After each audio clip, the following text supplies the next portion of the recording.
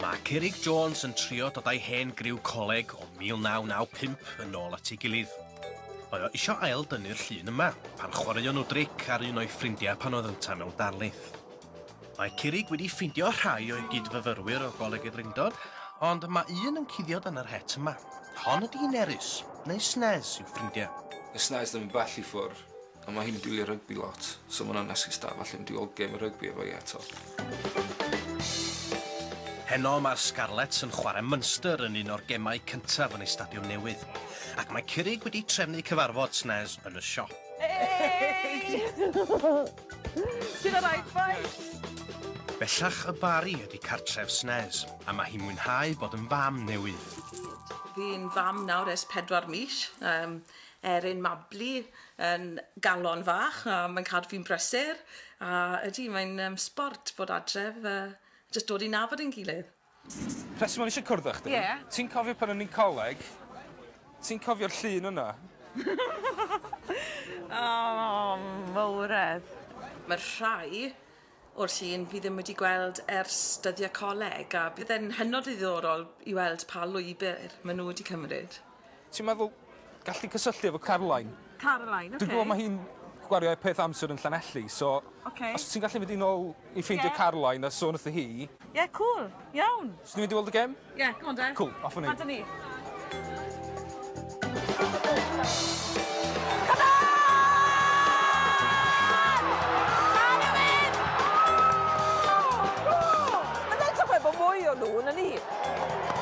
Scarlett yw'r tîm wel, y tîm ers cyn i fi cael yngeni, really. Ia, mae fe yn, um, yn gwad y teulu fel petai. Pas i mas! O, oh, yn ochr rong! A gwrs, a gwrs! Fi wedi dechrau siarad Ffrangeg dy'r rec, mae nawr. Er bod ni'n byw ochr rong o'r, or afon, uh, ym Hont y Ddiles, yn reiddiol, um, ni dal wedi cefnogi'r Scarlett. Felly, dyna snes ar ei ffordd a does dim perig i'r fan o'r Scarlett fynd ar goll yn Llanelli wrth chwilio am Caroline. Mae'r busnes chwilio am waith sychedig i Curig, a mochyn du yw'r stop nesa i gwrdd â llunor. Ti'n cofio hwnna?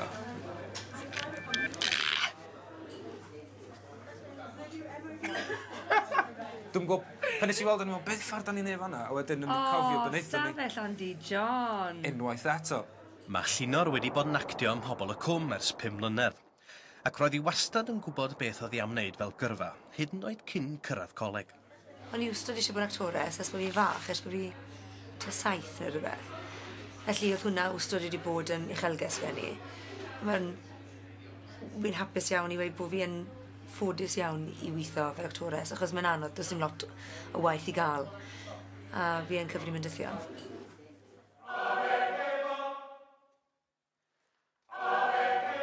un o'r prif bethau wy'n neud gyda'n amser yw canu mewn cwr. Um, wy'n aelod brwd o gofr dydd.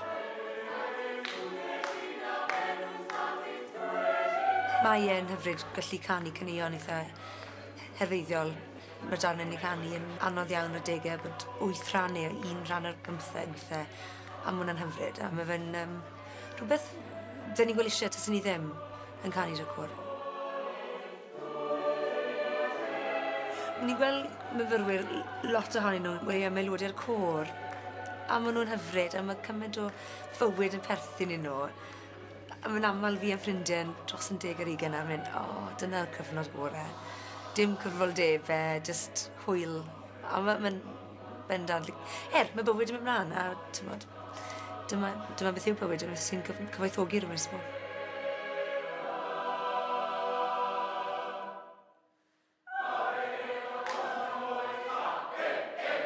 Felly, dyna Llunor ar ei ffordd nôl i Goleg y Drindod. Mae hi wedi gwireddu ei breuddwyd i fod yn actores, ond ydy'r un peth yn wir am Curig? Dwi'n meddwl bod bywyd beth yn tre allan fel chi'n disgwyl, ti'n meddwl.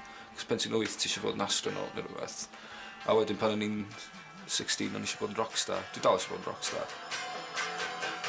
Ti'n symud y goalpost drwy'r amser o, o ran beth ti eisiau gwneud. Um, so, o'n i'n meddwl fos ni'n gweithio mewn swyddfa drwy'r dydd, wneud PR ar gyfer rhan o'r llywodraeth, ond so, dwi ddim wedi troi allan beth ni'n disgwyl gwbl, ond mae dal yn rhywbeth i'w fwynhau.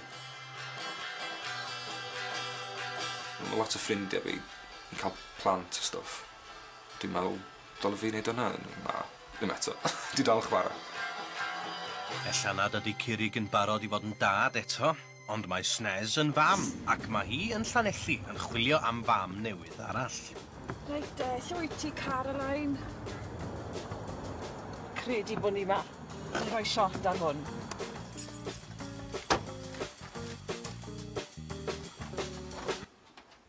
Helo.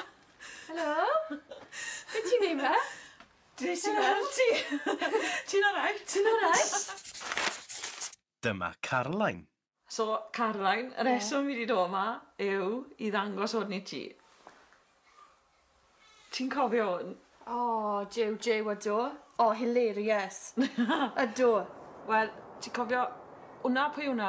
Cyrig. Cyrig, cyrig Ie. ...'di gofyn i fi o ddod i ôl ti. Right. A mae fe'n awyddus i ail greu y sefyllfa yna yn y coleg. Ti ti'n meddwl fyddet ti moyn uh, joino mewn dyn ni? Ie yeah, of course. Grêt. Amser gore'n bywyd ni rili ond ar y pryd dwi'n credu bod chi'n sylweddoli ni, chi ddim yn sylweddoli um, a gwerthfawrogi'r amser sdach chi a pa mor lwcus i chi i cyfle a i fod mewn sefyllfa fel yna. So so fi'n cael 'yn amser nôl falle byddwn ni'n trial gwerthfawrogi fe bach yn fwy. Athrawes ysgol gynradd ydy Caroline ac mae ganddi blentyn bach 'i hun bellach. Mae Mali Fflur yn bedair wythnos oed. Ie? Oh, O! Ca'l? Mali. Mali. Helo Mali. Ti'n gweud helo? Ti'n joio fe? Ydw fi'n joio fe, mae'n yw'r job fi'n caleta fi byth wedi wneud. Mae e mor fynedig. Mae'n cymysgu dydd a nos, a dwi ddim yn cysgu o gwbl yn y nos ar y funud. Mae'n sioc ydw e? O di, mae'n sioc. Ie. Ond mae'n ffantastig, a newidau ni ddim byd. Just, uh, fi jyst yn gweddio am bach fwy o gwsg nawr a gobeithio wneud fi jyst setlo.